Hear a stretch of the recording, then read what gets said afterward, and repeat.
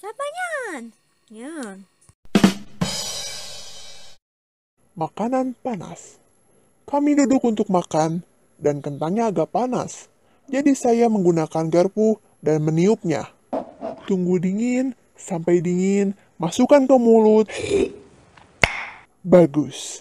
Dan ada saudaraku, dia melakukan hal yang sama. Tunggu dingin, sampai dingin, masukkan ke mulut. Bagus. Itu ibuku. Dia melakukan hal yang sama. Tunggu dingin, sampai dingin, masukkan ke mulut. Bagus. Tapi ayahku, ayahku, apa yang dia lakukan?